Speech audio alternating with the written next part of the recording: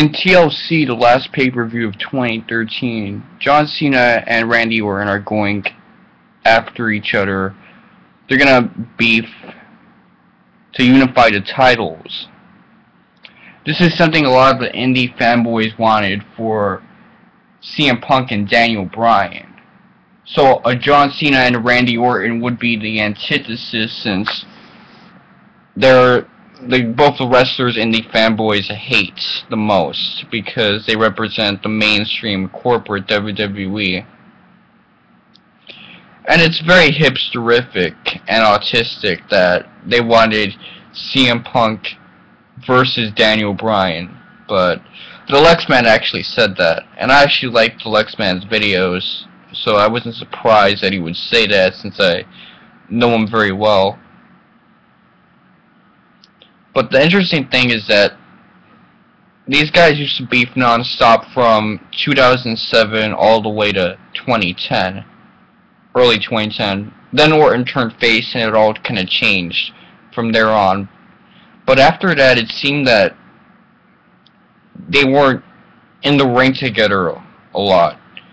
That there was always something to separate them, whether it be the the fact that Orton was face or that he was in SmackDown, or the fact that one of them was injured, or just the fact that Cena has a world title and he was in SmackDown for a few months because of it. Still is kind of, but there was always something that kind of kept them away for the past couple of years. But now here we are with them again.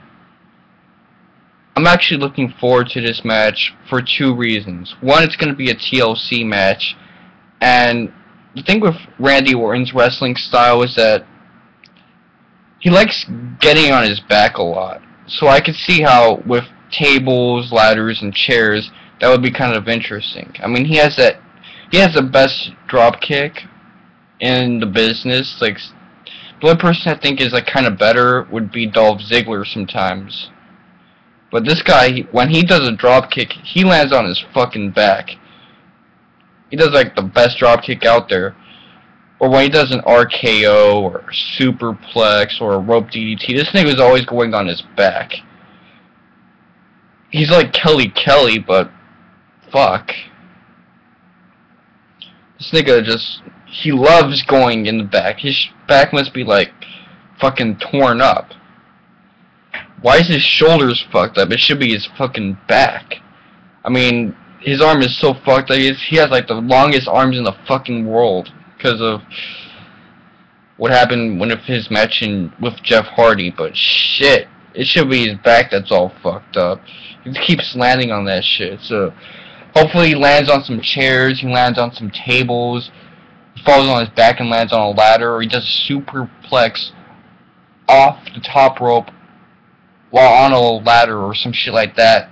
Just get on his back really hard and really extremely. Extremely. That's what's cool. John Cena, on the other hand, his wrestling style, I kind of describe it as this. He wrestles like he googled the night before how to beat that wrestler. I mean,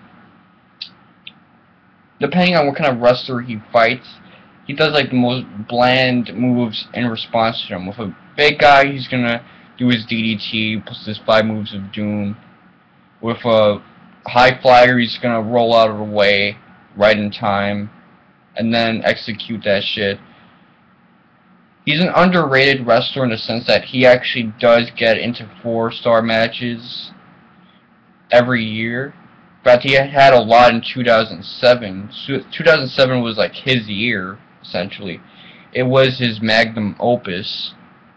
But shit. John Cena don't fuck around. This guy, when I imagine him getting in the ring with his t-shirt and his shorts, I can imagine a fanny pack on him because I think he's like getting he he does this last minute shit with every guy he wrestles where it's like did your grandma tell you already if you're gonna beat him, you gotta use this move. You gotta use this strategy.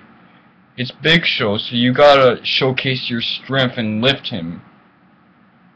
Make sure you struggle lifting him the first couple of times. Same with Mark Henry. Or roll out of the way in time for this one move. But you gotta hulk up during this match. Remember, honey.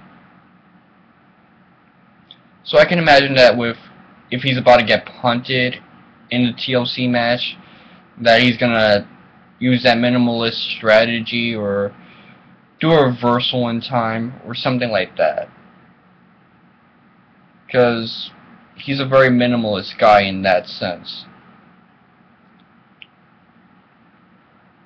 Although he can do a hurricanrana now, so I gotta give him respects for that, I guess.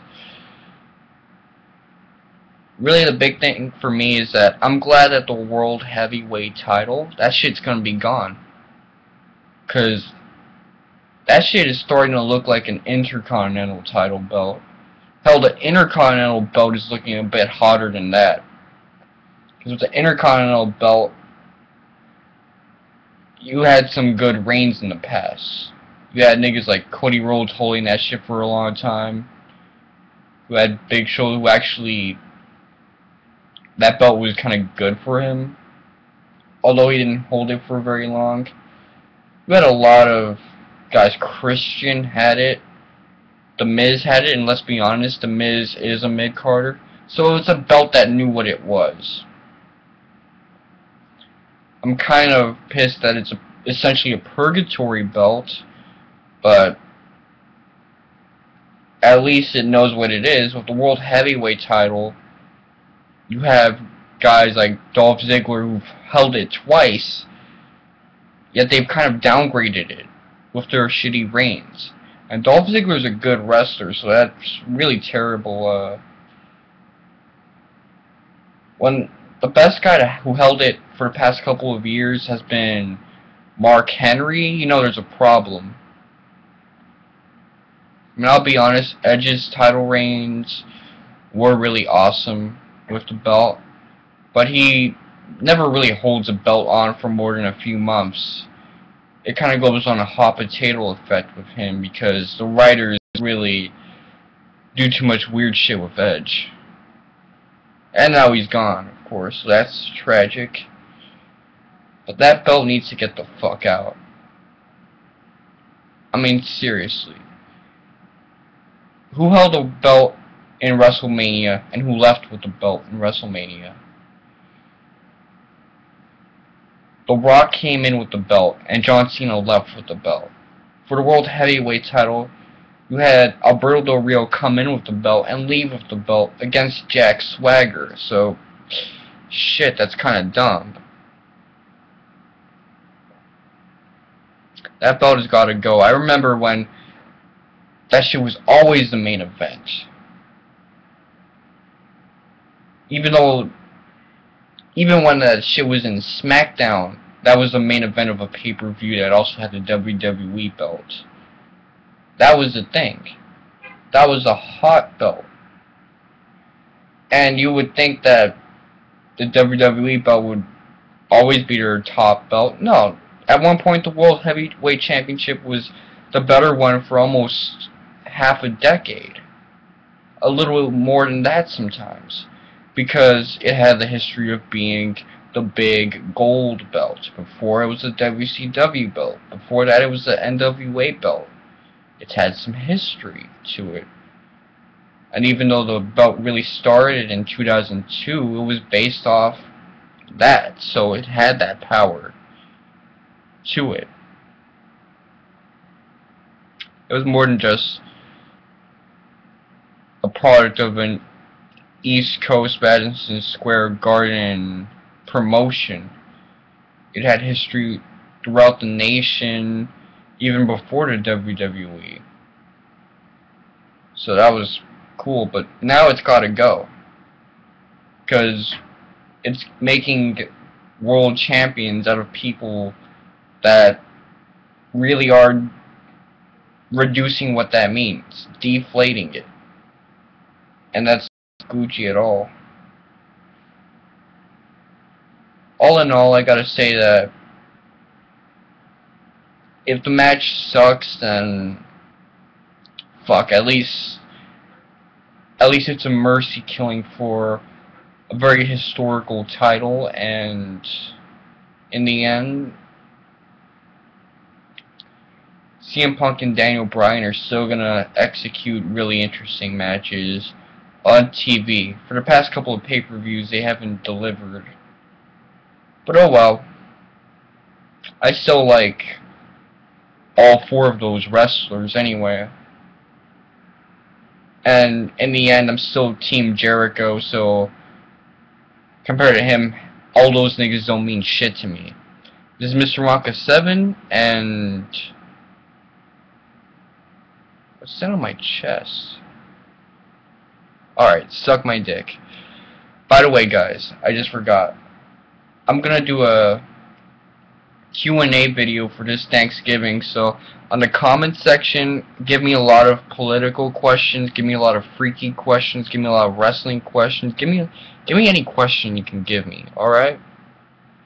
So fuck.